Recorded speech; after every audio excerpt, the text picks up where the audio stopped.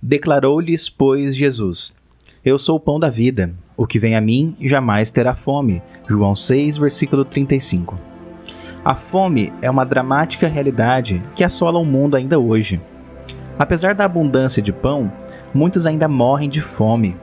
A fome física e espiritual. O pão da terra não satisfaz a alma. Aqueles que comem desse pão voltam a ter fome. Os banquetes da terra, as aventuras sexuais, os prazeres da vida e as riquezas deste mundo não podem preencher o vazio que existe dentro de você. Na verdade, Deus colocou a eternidade em seu coração. Há em sua alma um vazio com o formato de Deus. Nada nem ninguém pode dar sentido à sua vida. Suas obras não são suficientes para recomendá-lo a Deus. Sua religião é incapaz de reconciliá-lo com Deus. Seus predicados morais e o melhor de seus esforços não podem dar alívio à sua consciência.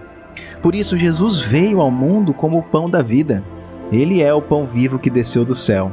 Aquele que comer deste pão nunca mais terá fome, para todo sempre. Jesus satisfaz por inteiro sua mente, suas emoções e sua vontade. Ele traz refrigério para seu corpo e descanso para sua alma.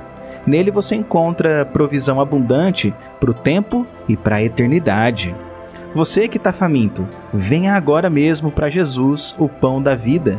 Entre na sala do banquete, há pão com fartura na casa do Pai. A vida abundante no banquete de Deus à sua espera. Jesus lhe oferece perdão e vida eterna.